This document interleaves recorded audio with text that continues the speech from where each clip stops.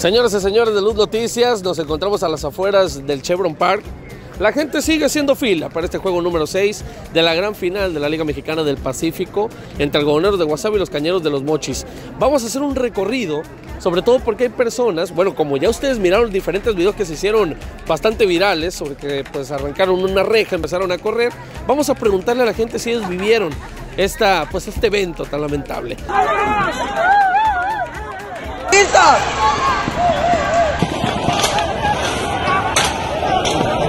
¿Cómo es posible que tengan toda la infraestructura ahí cerrada? Exactamente. Si son coditos, dile que hacemos una cooperacha aquí y les pagamos para que abran las otras taquillas a las muchachas, las boleteras. ¿Son dos taquillas las que están abiertas nada más? Pues de aquí ni vemos, pero Deberían de ser las cuatro. las pues. cuatro. ¿Cómo es posible eso? No hay respeto, no hay respeto. Los valores, ¿dónde están?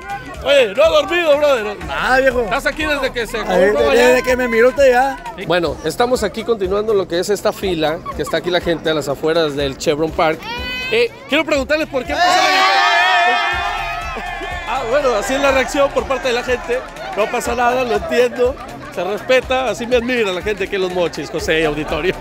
No importa. Vamos a intentar por otro lado, a ver si podemos entrar. ¿Pu- pu- ¿Puedo ingresar? Bueno, aquí se me acepta. Bueno, vamos a movernos, vamos a movernos. Tampoco me quieren aquí, vamos más para adelante.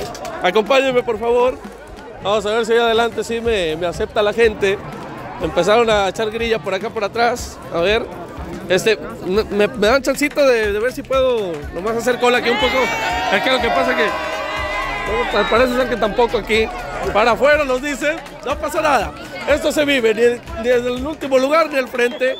No pasa nada. Así está reaccionando la gente que quiere ver ca- campeón a Cañeros de los Mochis.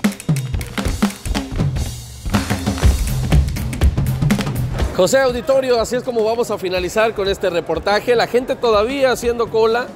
Va a durar bastantes horas, ¿eh? hay que decirlo. Bueno, empiezan las críticas de que solamente son dos taquillas abiertas de las cuatro que hay en el Chevron Park. Pero bueno, hasta que este reportaje, Martín Ruiz en la cámara, Eduardo Borges, su servidor, me despido. Mañana el juego número 6 de la serie final.